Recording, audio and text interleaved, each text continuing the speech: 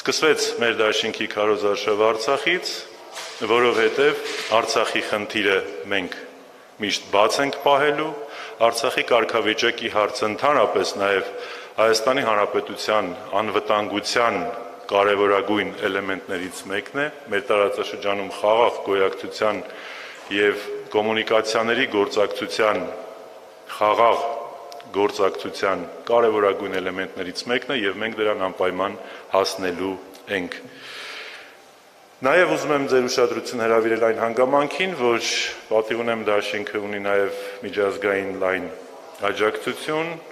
մի շարք իր միջազգային գործընկերների կողմից, իսկ սա խոսում է այն մասին, որ մենք նաև արտաքին քաղաքականության ակտիվացման մեր երկկողմ եւ բազմակողմ համագործակցության տարբեր գործիքակազմով շատ արագ կարողանալու ենք ոտքի կանգնեցնել Հայաստանի Հանրապետության արտաքին գործընկերությունը, վստահություն ձեռք բերել, պատվով եւ արժանապատիվ համագործակցություն սահմանել, դրանով իսկ ինչպես անվտանգության, այնպես էլ տնտեսական, քաղաքական, մշակութային զարգացման համար շատ արագ մեծ տեմպերով հիմքեր դնել։